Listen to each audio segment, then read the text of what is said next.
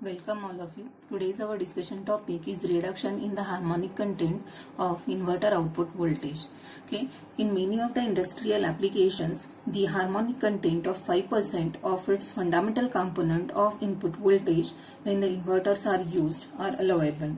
Actually, uh, in the inverter output voltage may have harmonic content much higher than that of the 5% of its fundamental component. In order to reduce the harmonic content to 5%, the one method is to be used which is nothing but the use of filter in between the inverter and the load. Okay if the inverter output contains high frequency components then this can be reduced by using low size filters. Okay for the attenuation of low frequency harmonic components however the size of the filter components gets increased. Okay this makes filter circuit more costly, more bulky and the weight of the circuit also gets increased. In addition, the transient response of system also becomes sluggish. Okay, so this shows that the lower order harmonics of from the inverter output voltage should be reduced by some another method than that of the filter circuit. Okay, the low order harmonics from the output of uh, inverter can be reduced by using the following methods. The first method is nothing but the harmonic, harmonic reduction by using the pulse width modulation technique. In pulse width modulation, several pulses per half cycle are used. Okay, so as the number of pulses per half cycle increases, the low order harmonics gets eliminated. Figure here shows the output waveform of single phase full bridge inverter. Okay so this total duration is denoted as alpha 1 and this duration from 1 0 to 2 is denoted by alpha 2 here.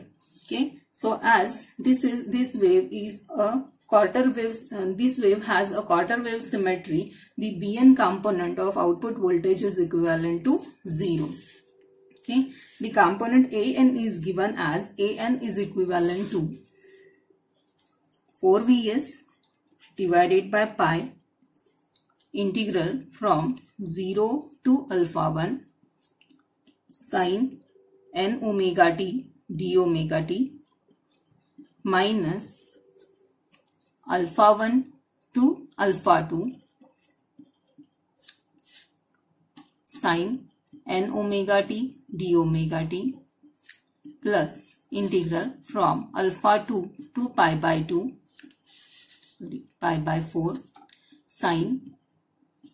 N omega t d omega t. Okay. So after solving these integrals we have the value of an is equivalent to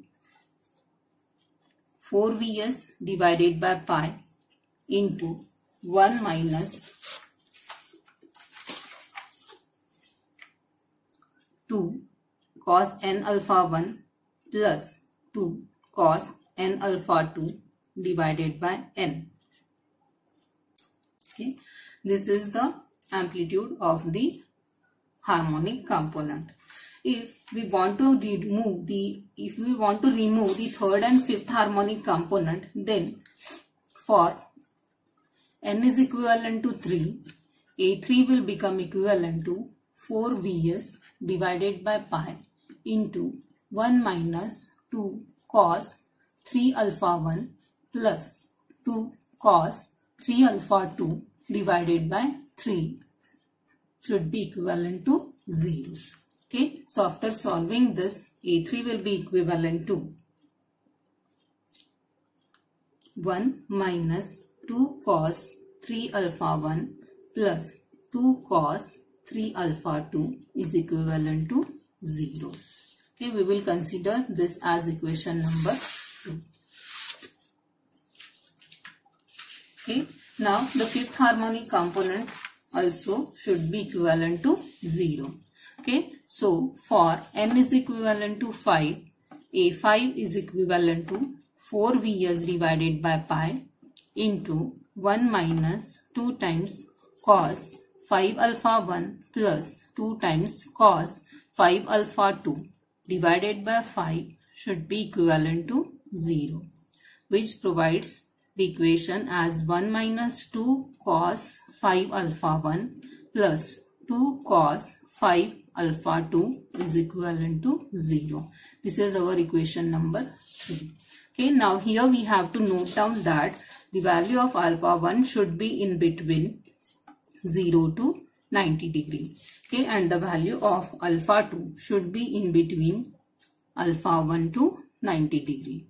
Okay, by considering these assumptions and solving the equation number 2 and the equation number 3, we have alpha 1 is equivalent to 23.62 degree and alpha 2 is equivalent to 33.304 degree. Okay, using these values of alpha 1 and alpha 2 to calculate the 7th, 9th and the 11th harmonic component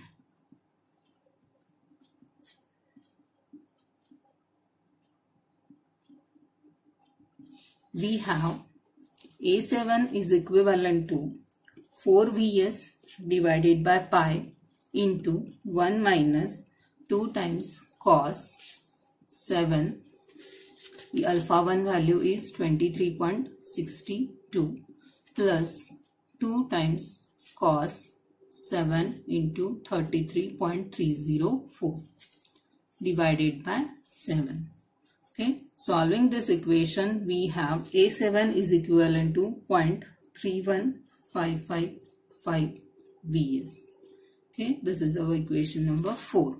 Okay, the same way A9 is equivalent to 4 Vs divided by pi into 1 minus cos 9 into 23.62 plus 2 times cos 9 33.304 divided by 9.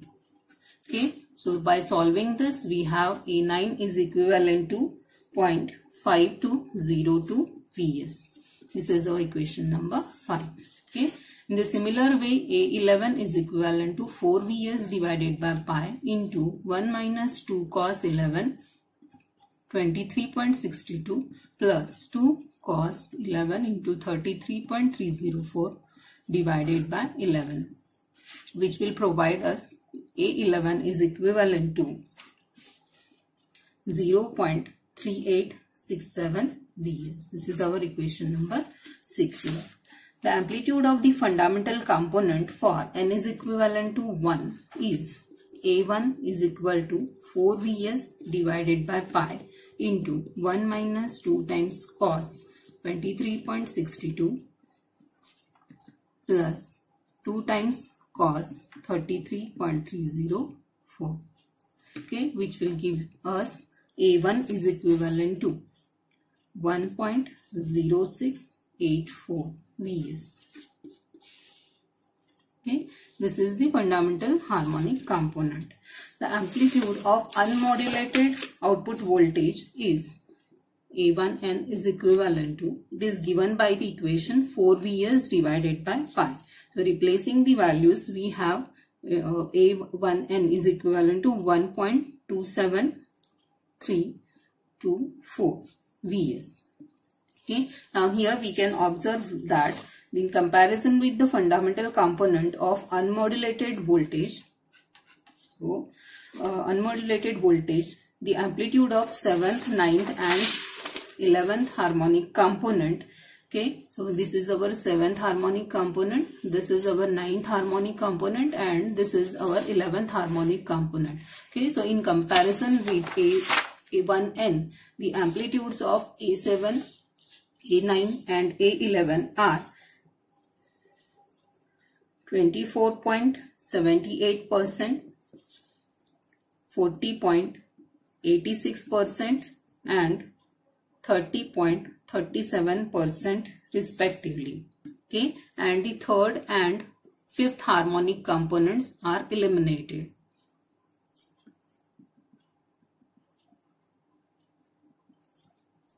from the inverter output voltage. The amplitude of fundamental output voltage is 83 point here the amplitude of fundamental output voltage modulated output voltage it is A1 is equal to 1.6084 Vs and that of unmodulated wave is 1.2734324 Vs. Okay so that the amplitude of fundamental voltage is okay it is nearly about okay 1 point 06 84 V's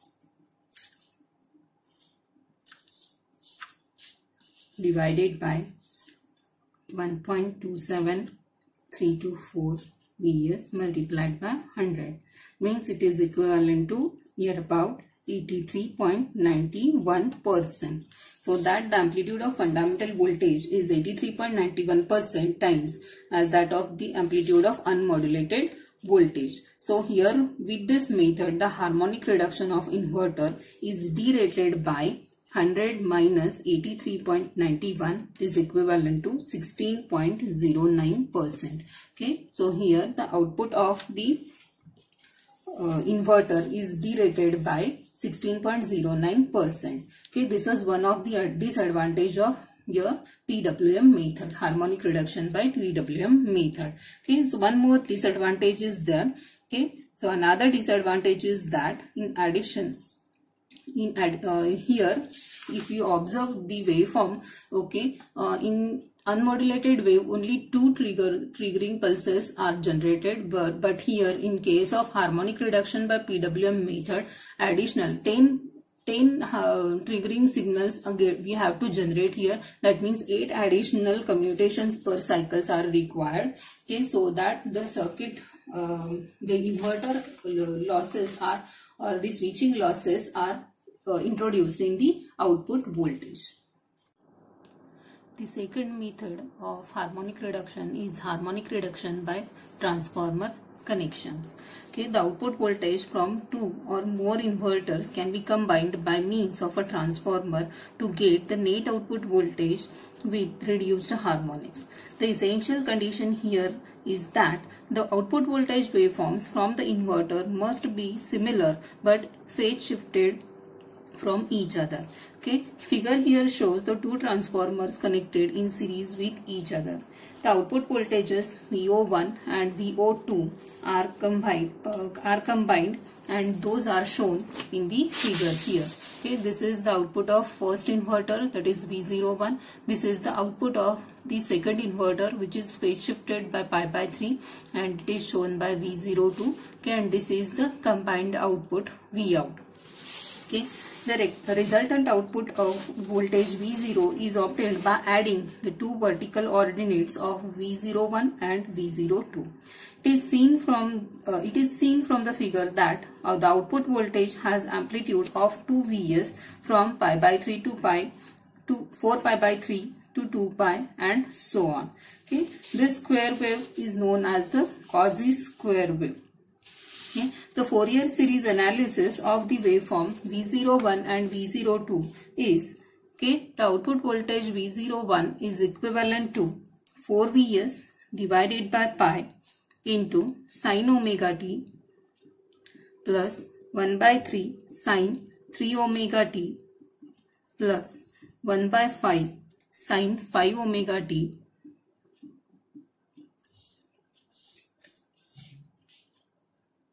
okay, plus 1 by 7 sine 7 omega t and so on.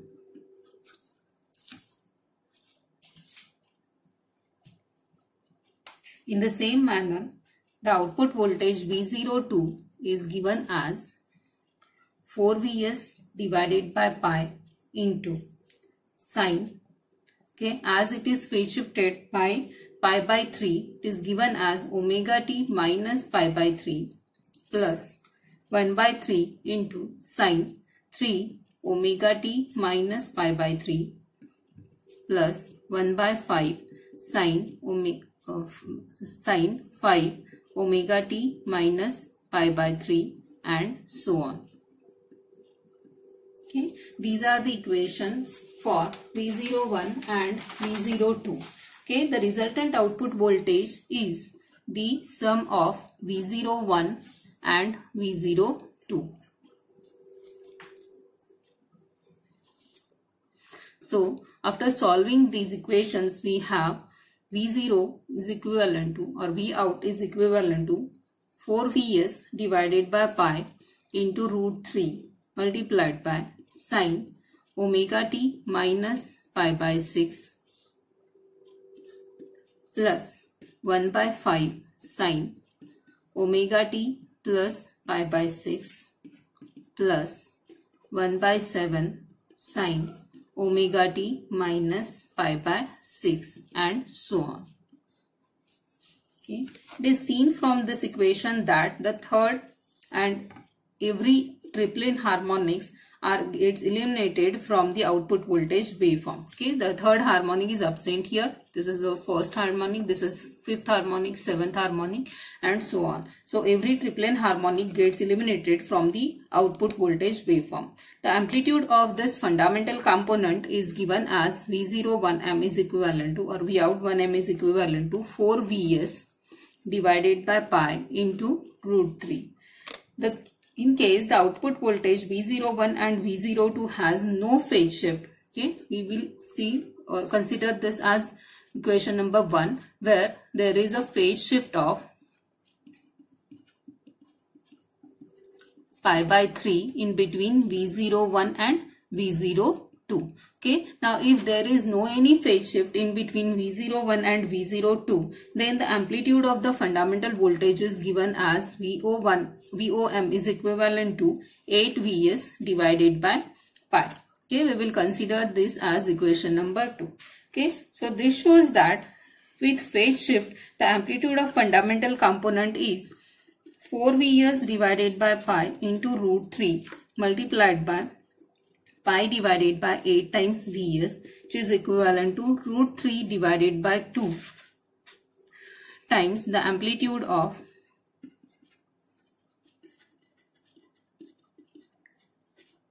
fundamental component with no phase shift.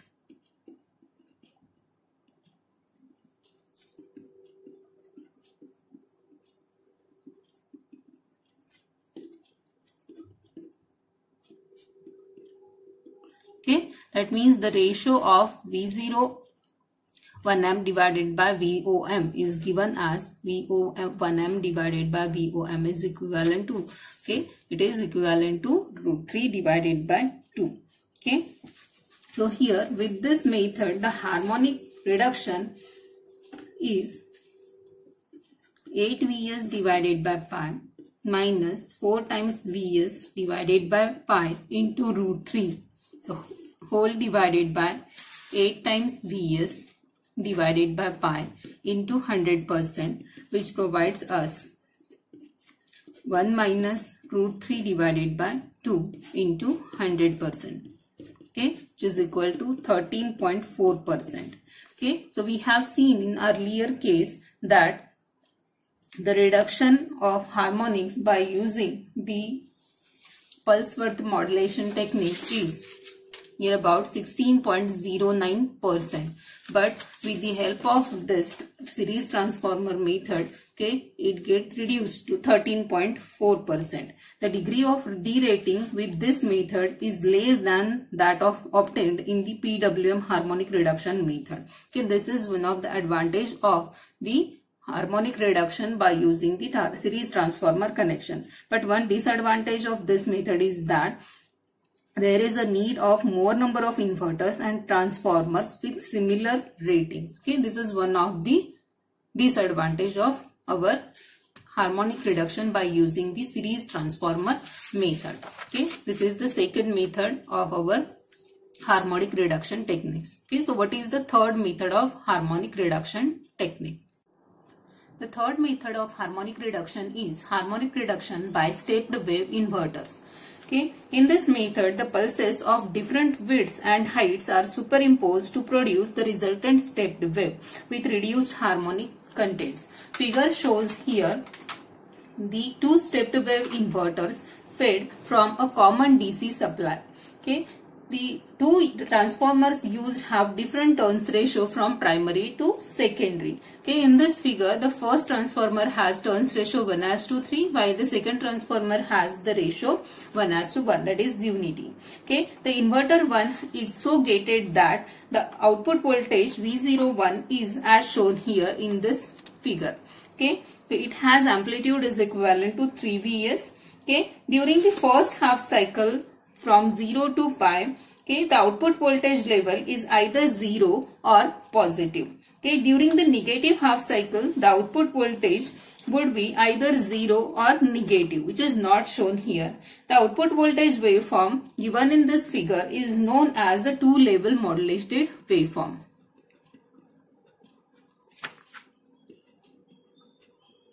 Okay, it has two level modulation either 0 or positive or 0 or negative.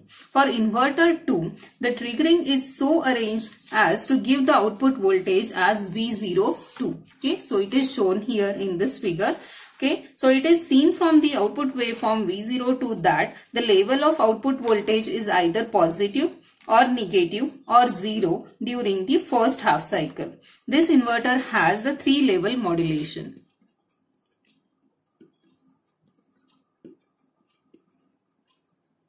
Okay.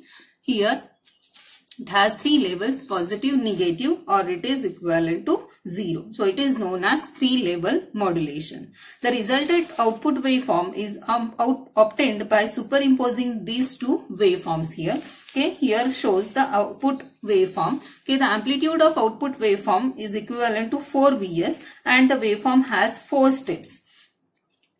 Okay, the Fourier series analysis of this output waveform depends upon the values of D1 which is the distance from 0 to pi, D2, D3 and D4. Okay, as well as the amplitude of output voltage that is equivalent to 4 Vs or amplitude fundamental amplitude of output voltage. Okay, the proper uh, choice of these parameters that is D1, D2, D3, D4 and the output voltage amplitude of output voltage. Okay, we can eliminate the third, fifth and seventh harmonic uh, from the output voltage. Okay, so it is the three level modulation of this second inverter. With the help of this, the harmonic reduction can be achieved. Okay, so these are the three different methods of harmonic reduction. Okay, so first method is nothing but the harmonic, harmonic reduction by PWM method. The second method is harmonic reduction by transformer connection. And the third method is nothing but the harmonic reduction by stepped wave inverters. Okay, by using these three methods, so majority, majority harmonic components or majority harmonic contents gets reduced from the output waveform. Okay, these three methods are used to reduce the low level frequency components from the output waveform. Okay, thank you very much.